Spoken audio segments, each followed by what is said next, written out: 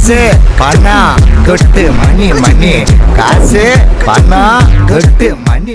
ஹாதி case இன்னைக்கு காசு தான் பாஸ்ல எதை பற்றி பார்க்க போகிறோம்னு பார்த்தீங்கன்னா கிரெடிட் கார்டு இன்னைக்கு பார்த்தீங்கன்னா ஐடி ஃபீல்டில் வேலை செய்கிறவங்க அவங்ககிட்ட என்ன இருக்கோ இல்லையோ கிரெடிட் கார்டு மட்டும் எல்லார்கிட்டயும் இருக்கும். என்னன்னா பேங்க்ஸ் வந்து கால் பண்ணி கால் பண்ணி எல்லாருக்கும் கொடுக்கறது என்னன்னா கிரெடிட் கார்டு தான் கொடுக்குறாங்க.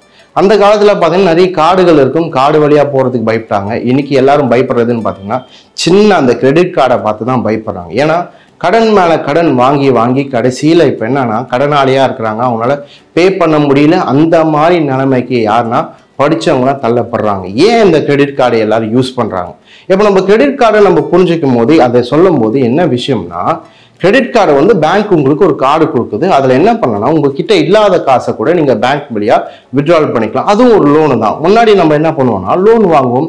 யார்கிட்ட வாங்குவோம்? சொந்தக்காரங்க கிட்ட வாங்குவோம் ஃபேமிலி கிட்ட வாங்குவோம் பேங்க் கிட்ட வாங்குவோம். அந்த மாதிரி நிறைய விஷயங்கள் பண்ணுவோம். இப்போ என்ன பண்ணுறாங்கன்னா ப்ரீ அப்போட அவங்களுக்கு கார்டு கொடுத்துட்றாங்க. கொடுத்துட்டு அதில் என்ன சொல்கிறாங்கன்னா ஒரு லட்ச ரூபா கொடுத்துட்டு உங்களுக்கு எப்போ வேணுமோ எவ்வளோ வேணுமோ ஸ்வைப் பண்ணிக்கோங்கன்னு சொல்கிறாங்க அப்போது டேபிள் மேலே நம்ம வந்து அழகாக காசு இருக்குன்னா நம்மளுக்கு டெம்டேஷனை என்ன பண்ணுறாங்கன்னா க்ரியேட் பண்ணுறாங்க அந்த டெம்டேஷனை க்ரியேட் பண்ணும்போது நம்ம கிட்ட இல்லாத விஷயங்கள் கூட நம்மளுக்கு வாங்கணும் நம்மளுக்கு ஆசை என்ன பண்ணுறாங்க தூண்டுறாங்க. எந்த அளவுக்கு தூண்டுறாங்கன்னு பார்த்தீங்கன்னா ஒரு வருஷத்துக்கு கார்டில் ஸ்வைப் பண்ணுறது எவ்வளோ ஸ்வைப் பண்ணுறாங்க மக்கள்னா one point seven lakh crores one point ஏழு லட்ச கோடி மக்கள் என்ன பண்ணுறாங்கன்னா வருஷத்துக்கு ஸ்வைப் பண்ணுறாங்க அதுவும் வருஷம் வந்து இன்னும் எவ்வளோ கடனாளிகளாக இருக்காங்க பார்த்தீங்கன்னா மூணு லட்சம் கோடி இன்னும் கிரெடிட் கார்டில் ஸ்வைப் பண்ணி இன்னும் கட்டாமல் இருக்கிறாங்க.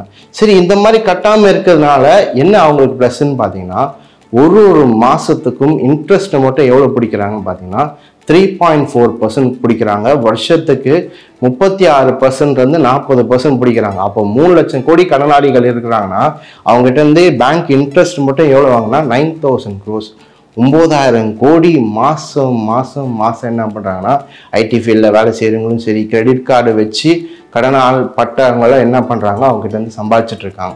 இப்பேற்பட்ட ஒரு ஈவலான டூலை நம்ம எப்படி யூஸ் பண்ண முடியும்? அது சாதகமாக யூஸ் பண்ண முடியுமா? அப்படின்றது நிறைய பேருக்கு டவுட் இருக்குது கிரெடிட் கார்டில் பார்த்தீங்கன்னா ஸ்வைப் பண்ணுறீங்கன்னா முப்பதுலேருந்து நாற்பத்தஞ்சு நாளுக்குள்ளே கட்டிடலாம். கட்டிட்டீங்கன்னா உங்களுக்கு இன்ட்ரெஸ்ட்டே கிடையாது. யோசிச்சு பாருங்கள் இந்த காலத்தை யார் இன்ட்ரெஸ்ட் இல்லாமல் தராங்க அப்போ என்ன சொல்றாங்கன்னா கடன் ஏதோ ஒரு எமர்ஜென்சி வருது ஒரு மெடிக்கல் எமர்ஜென்சி வருது காசு இல்லை நம்ம கிட்ட எல்லாமே செலவாயிடுச்சுன்னா உடனே நம்ம என்ன பண்ணலாம்னா கிரெடிட் கார்டு யூஸ் பண்ணலாம். ஒரு நல்ல விஷயம் தான் முப்பதுலேருந்து நாற்பத்தஞ்சு நாளுக்குள்ள கட்டிட்டீங்கன்னா பிரச்சனை கிடையாது. அதுவே முப்பத்துலேருந்து நாற்பத்தஞ்சு நாளுக்கு மேலே போறீங்க.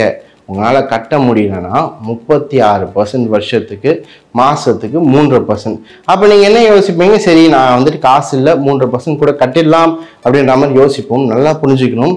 இப்போ நீங்கள் ஒரு லட்சம் வாங்கியிருக்கீங்கன்னா அதில் மினிமம் டியூன்றது அஞ்சு பர்சன்ட் அஞ்சாயிரம் ரூபாய் கட்டினா போதும் அப்படின்ற மாதிரி சொல்கிறாங்க இப்போ நம்ம நார்மலாக யோசிக்கும் போது அஞ்சாயிரம் ரூபாய் நான் கட்டுறேன்.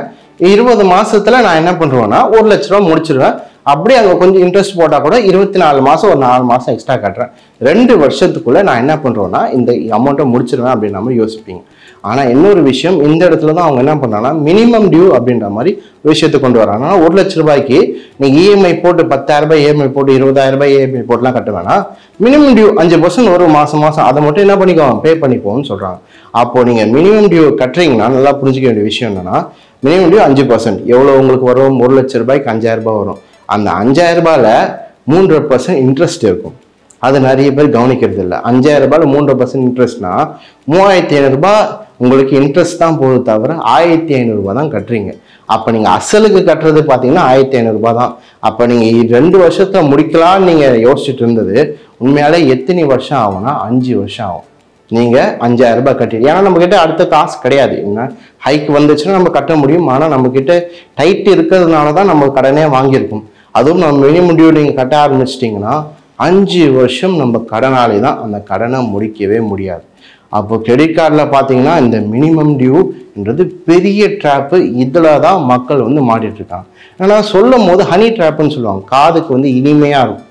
அதெல்லாம் கரெக்டு தான். ஆனால் நம்ம கிரெடிட் கார்டை யூஸ் பண்ணும்போது புரிஞ்சு யூஸ் பண்ணும் புரிஞ்சு யூஸ் பண்ணால் மட்டும்தான் இதுலேருந்து நம்ம விலகி வர முடியும். இது மட்டும் இல்லாமல் நீங்கள் கடை நிறைய கடையில் வந்துட்டு நீங்கள் ஸ்வைப் பண்ணும்போது டூ பர்சன்ட் சார்ஜஸ் பிடிப்பாங்க. எல்லாருக்கும் தெரிஞ்ச விஷயம். சின்ன கடைங்களாக இருந்தால் கிரெடிட் கார்டு ஸ்வைப் பண்ணுற காசு இல்லை ஒரு பொருளை வாங்கணும்னா டூ பர்சன்ட் நீங்கள் பே பண்ணி ஆகணும் எக்ஸ்ட்ரான்னு சொல்லலாம் பெரிய கடைங்களுக்கு பிரச்சனை கிடையாது. சின்ன கடைங்க டூ பர்சன்ட் அப்போது என்ன பண்ணுறோம்னா டூ பர்சன்ட் எக்ஸ்ட்ரா கொடுத்து அந்த பொருளை வாங்குற மாதிரி இருக்கும்.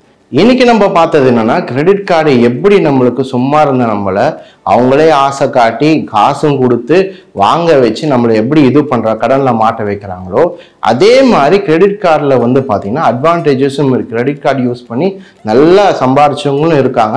அதை பற்றி நம்ம அடுத்த காசு தான் பாஸில் பார்க்கலாம். ஸோ இதை மட்டும் நல்லா ஞாபகம் வச்சுக்கோங்க. காசை நல்லா ஹேண்டில் பண்ணுங்க. லைஃப்பை ஸ்மூத்தாக லீட் பண்ணுங்கள்